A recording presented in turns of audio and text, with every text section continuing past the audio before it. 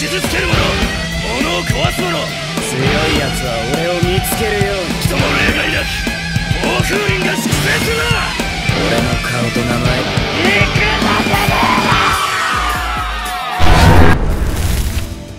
Pada video kali ini, kami pun akan kembali menjelaskan dan juga menceritakan mengenai spoiler atau bocoran cerita singkat dari manga Baku Otome Breaker chapter yang ke-150-nya. Pertama, sebelum kami mulai, maka kami mau ingatkan lebih dulu kepada kalian bahwa chapter yang terbarunya dari manga Baku Otome Breaker hanya bisa keluar sebanyak satu kali dalam satu minggu, itu pun jika tidak libur. Jadi sangatlah mustahil kami bisa upload manga Windbreaker setiap hari sesuai permintaan dari para penonton. Kedua, ini adalah video spoiler atau video bocoran versi singkatnya. Karena manga ini baru keluar di Jepang tadi malam, maka haram hukumnya untuk bisa membahas dan menampilkan semua gambar mangganya secara langsung.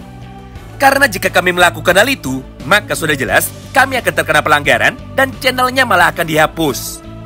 Jadi, video pembahasan paling lengkapnya baru akan kami buat pada hari Jumat sorenya atau paling lama pada hari Sabtunya. Oleh karena itu jika sudah mengerti, maka tanpa perlu berlama-lama lagi, sekarang mari kita langsung masuk saja menuju ke dalam pembahasan utamanya. Mulai dari yang pertama. Singkat cerita, tepat pada halaman yang pertama ini, kita pun kini kembali diperlihatkan mengenai proses jalannya pertarungan antara Chika dan juga Umemiya. Di mana secara singkat, beginilah adegan baku hantam yang sekarang terjadi di antara mereka berdua. Pertama, setelah pukulan dari Chika sebelumnya sudah berhasil ditahan oleh Ume dengan menggunakan pergelangan tangan kirinya, maka tanpa menunggu lama, Ume pun kini langsung melancarkan satu buah serangan baliknya tersebut dengan menggunakan pukulan tangan kanannya tepat menuju ke arah tubuh dari Chika. Namun sepertinya respon dari Chika Takishi sedikit lebih cepat daripada Ume. Mengingat pada halaman itu, Chika pun ternyata masih mampu menghindar dengan cara memutar badannya mirip seperti gerakan dari Suho Hayato. Kedua, setelah Chika sekarang sudah berhasil menghindar, maka kini giliran dari Chika yang langsung melancarkan satu buah serangan baliknya. Dengan cara melakukan gerakan berputar lagi menuju ke arah sebelah kanannya. Lalu, dengan menggunakan tangan bagian belakangnya, Chika pun sekarang langsung mencoba untuk dapat menghantam kepala dari Ume dengan sekuat tenaganya. Akibatnya, Ume yang terlambat menghindar sekarang jadi harus pasrah untuk dapat menerima serangan dari Chika tersebut. Hingga kepala dari Umemiya sekarang langsung menjadi terpental menuju ke arah yang berlawanan. Nah, menyaksikan pertarungan tersebut di depan matanya, Endo pun tanpa pikir panjang, kini akhirnya langsung berkata kepada Sakura. Maafkan aku Sakura, tapi aku rasa dirimu pasti akan marah kepadaku. Karena pada saat ini, aku sangat mendukung Chika Takishi untuk bisa menang dari Ume. Mengingat ini adalah pertama kalinya di dalam hidup, aku bisa melihat secara langsung bahwa Chika bisa merasakan sangat bahagia ketika dirinya sedang bertarung melawan orang nomor satu di dalam sekolah Furin, yaitu melawan Umemiya. Lalu pada halaman yang terakhir itu, kita pun juga bisa melihat Chika yang kebetulan sekarang sedang tertawa. Dan juga sekarang nampak sangat bahagia, walaupun pada dasarnya tubuh dari Chika sekarang sudah nampak sangat babak belur. Nah, mulai dari sinilah, Shin pun akhirnya seketika langsung berpindah menuju ke dalam sudut pandang yang lainnya, alias menuju ke dalam sebuah adegan kilas balik tepat sebelum pertarungan dari mereka berdua dimulai. Di mana secara singkat, Ume pun sempat mengajak Chika Takishi untuk dapat berkeliling di dalam sekolah Furin ini. Demi dapat menunjukkan kepadanya seperti apakah perbedaan dari sekolah Furin sebelum dan juga sesudah Chika Takishi memutuskan untuk bisa keluar dari sekolah Furin bersama dengan Yamato Endo dan juga para anggota Noroshi lainnya.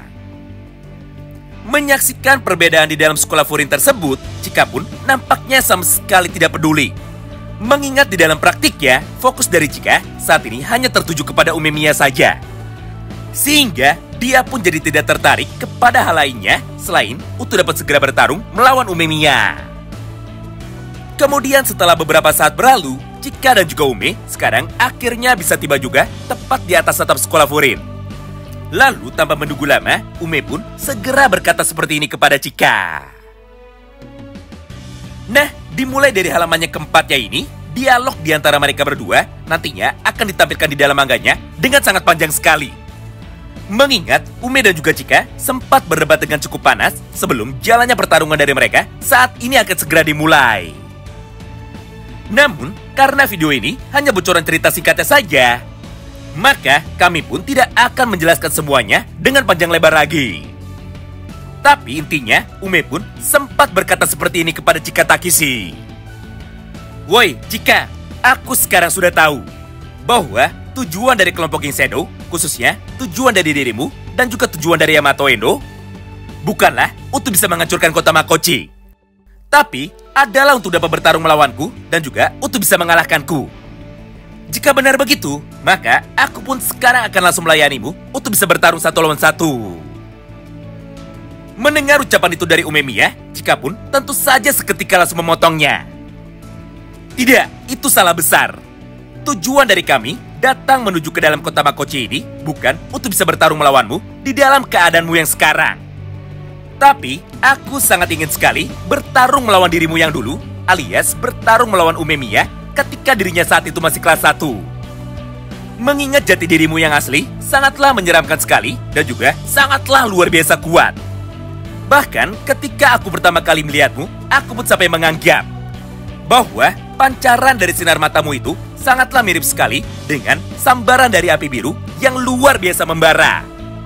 Atau di dalam teks asli bahasa Inggrisnya, bunyinya adalah sebagai berikut. Yaitu, do you back then, alias Umemiya, who burn like a blazing flame. Karena sekali lagi, ketika dirimu dulu masih kelas 1, kau pun sama sekali tidak peduli dengan semua orang yang saat itu mencoba untuk bisa menghentikanmu. Ditambah, ketika dirimu waktu itu sudah memutuskan untuk bisa mendapatkan sesuatu, maka tidak peduli apa pun yang terjadi, kau pun selalu berusaha untuk bisa mendapatkannya dengan menggunakan kemampuanmu itu dan juga dengan menggunakan kekuatan tinjumu itu. Nah, singkat cerita, setelah mendengar perdebatan panjang dari Chika dan juga Umemiya di atas, maka sekarang pertarungan dari mereka berdua akhirnya kini kembali dilanjutkan.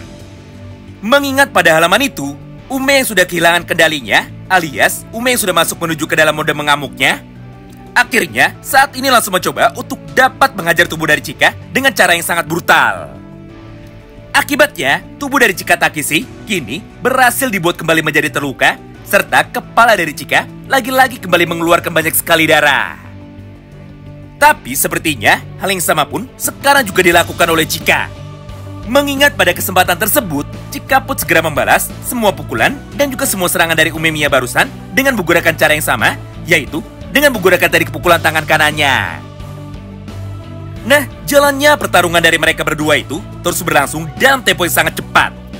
Hingga setelah beberapa saat berlalu, Chika dan juga Umemiya sekarang mulai bergerak lagi dengan kecepatan penuhnya sambil melancarkan teknik serangan yang berikutnya menuju ke arah lawannya masing-masing.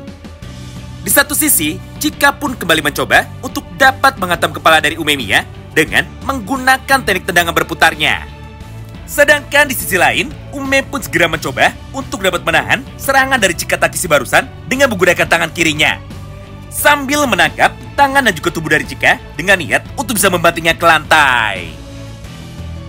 Wow, luar biasa banget ya! Oh iya, channel ini sudah terkena pelanggaran hak cipta sebanyak dua kali berturut-turut. Karena membahas mengenai video tentang JJK dan juga membahas mengenai chapter terbaru dari manga Blue Lock. Jadi untuk jaga-jaga, maka kalian bisa bantu subscribe juga ya channel kedua kami yang bernama Ribbon Windbreaker Update dengan gambar logo berwarna kuning. Jadi jika channel ini dihapus oleh YouTube, maka itu adalah channel cadangan kami. Nah, itulah semua isi bocoran cerita singkat yang dapat kami sampaikan kepada kalian semua di dalam satu kesempatan ini. Di mana cerita yang sekarang kami bacakan hanyalah separuhnya saja. Tentu saja bagi kalian yang penasaran tentang seperti apakah jalannya cerita lengkap dari chapter yang ke-150 ini, maka nantikan terus ya update pembahasan yang berikutnya entah pada hari Jumat atau pada hari Sabtu sore nanti. Terima kasih banyak yang sudah simak video ini sampai habis dan salam beku